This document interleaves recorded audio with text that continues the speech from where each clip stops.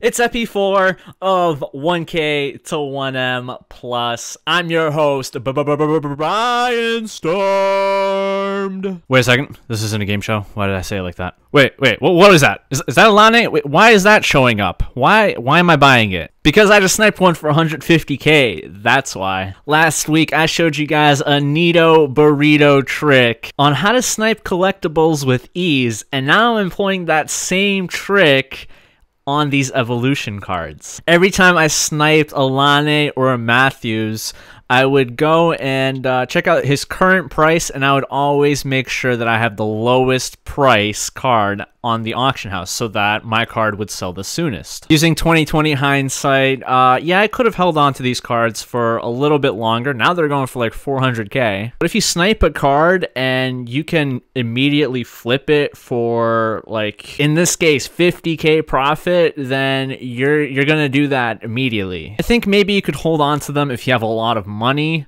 but I'd only have enough money to buy like three more of these, so I just want to get rid of them as much as fast as possible. I noticed after I bought that Matthews, I already had another Matthews up on the auction house, so I waited a little bit before throwing the second one up so that they're not competing with one another, and if I got undercut, then I could undercut someone else as well. And now time for the big kahuna.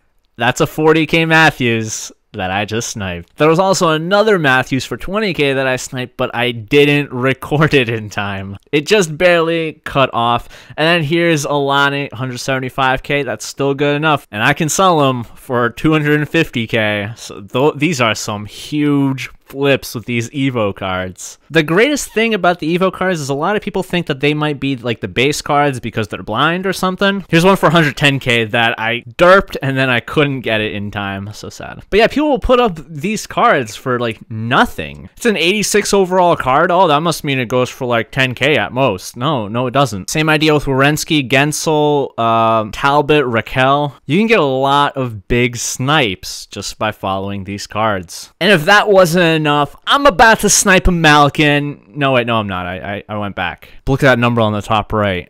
That is a million. We got there in about three weeks, which is uh, almost twice as fast as I did last year. And now we continue on because this isn't 1K to 1M plus. Or no, wait, it is. It isn't 1K to 1M. It's 1K to 1M plus. Here we have Murray, bottom for 5k all of them are going for 10k at the time of this video so i throw them up for that. Last year my go-to method was the special edition cards so i'm trying to get back into it and i start with the team of the week mcdavid card who's going for like 300k and i see one going for 240k so i scoop him up and i throw him up for 280k but it's not the price that i was selling him for that matters because i get this trade offer and look at how much time is left on this trade we're down to 40 seconds. I'm like defusing a bomb trying to figure out if this is a good deal or not. But guess what I have? I have this spreadsheet that I made to see the prices of all of the base cards and a bunch of other cards as well, which is still getting updated daily. And if you want to use it, just check out the link in the description. And that spreadsheet is a lifesaver because otherwise I would not have been able to figure out the prices of these cards in time. That is a good deal. Don't use the prices that were in that screenshot though.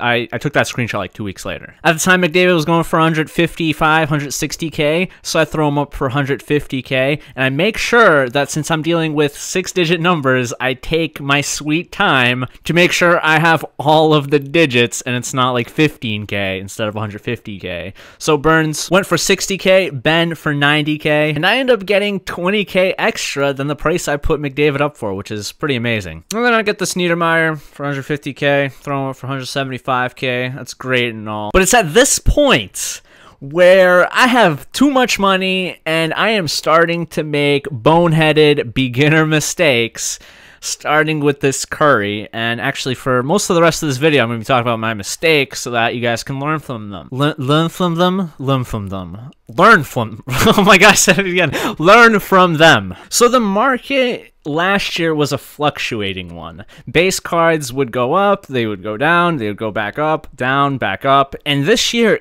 it's nothing but going down. I buy these two Marchands for uh, 20-ish K. I notice the rest of them are going for pretty close to 30K, so I'm like, okay, let me wait a few days and see if his price goes back up. Historically, cards are at their cheapest when there's a lot of packs being ripped open, like a lot of special cards out, a lot of special uh, packs that EA kind of released. And I do this with a bunch of cards. I buy this Weber, I buy like eight Phil Kessels, three Matthews, I buy two Tyler Seguins, and none of their prices went up. EA just kept releasing more special edition packs, and more cards just kept coming out.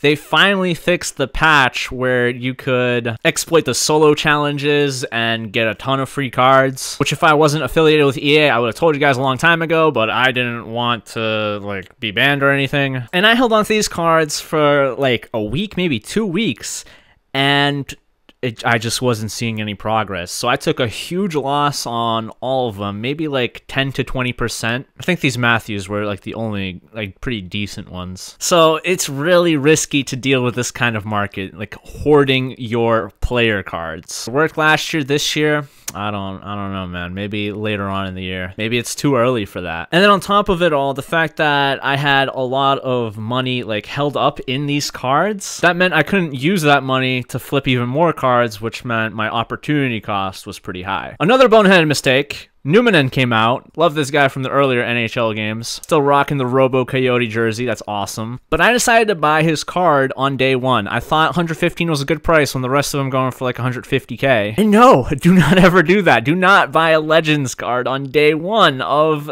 release. The price of Legends cards just keep plummeting throughout the year as more and more show up because they're available in packs throughout the whole year. Unless you find one for like 20k, don't do it. All right, now day one of flashback collectibles. Another boneheaded mistake. You see, I'm I'm flipping these collectibles, buying them for like 30k. Okay, that's great. Selling them for like 38k. Okay, I I just uh, sold a card. I got coins, so that must mean it's going pretty well. That is until everyone starts ripping open packs and then like selling all their collectibles at once. So all of a sudden, the price of these collectibles are just going straight down the toilet to like the 20k mark. So I do this, I pick up like maybe what six collectibles, right? No, wait, those aren't mine. Uh, I don't know. However many collectibles, and I realize I made a huge mistake that's costing me like 200k right now. The smart thing that I should have done was sell these collectibles instantly for a loss of maybe like 2k each, and then I would have had my money back. But I ended up holding on to these collectibles until the next week, where the price of the collectibles went back up again, which was not the smart thing to do because I could have used those coins where I got my uh, money back to buy the collectibles for even cheaper. The good news is I did pick up uh, a good amount of these flashback collectibles afterward for like under 15k. Here, uh, to kind of recoup some of my losses, I decided to just uh, throw them into the flashback set so that I can sell the Koivu for a little bit over the price that I paid for for the collectibles. So I got my money back for at least four of the collectibles just by doing this. I get the Master Collectible too, which is nice. And then another boneheaded mistake, which actually wouldn't be a mistake under normal circumstances, but it was this particular week. I'm like, hmm, not a lot of Koivus got thrown up on the market. I'm gonna buy a few of them for a fairly cheap price. Hold on to them until they the prices of them go up and then sell them, which would be fine. But they released a 91 overall Koivu legend card like on Monday. So that sucked. And the 90 overall Koivu tanked.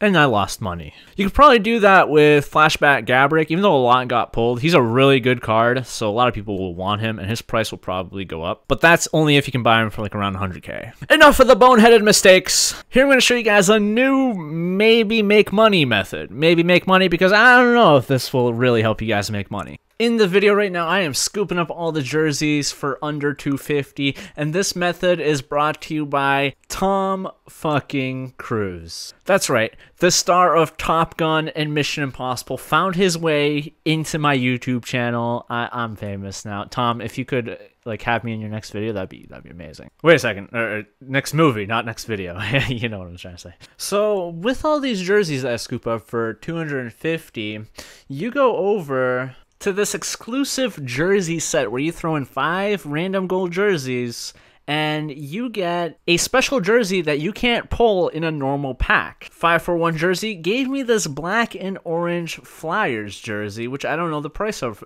right now. I do this a few more times. I get a Coyotes jersey, a Dallas Stars jersey, and if you notice, a lot of these jerseys look almost exactly the same as the normal jerseys. Turns out that the normal jerseys are the ones that you don't want to get. You want to get something like the Seals or Team Sweden, any kind of countries really. And that Flyers jersey was actually a pretty good pull. It sells for like 15k, so I up throwing up for like 10k. The method? It's about hit or miss, but it seems to be more hit than it is miss. I spent like what, 7k on jerseys, and this Flyers jersey just made up for all of that. The Seals jersey, I think I had a tough time selling for 3k, but the Sweden one sold pretty quickly for like 4k or 5k. And then you saw Team Canada, I mean, he was selling them for like 30k. So give it a shot and see what it's all about. That'll do it for this video. Next week we'll talk about hoarding collectibles. Thanks for watching. If you have any questions, let me know in the comments.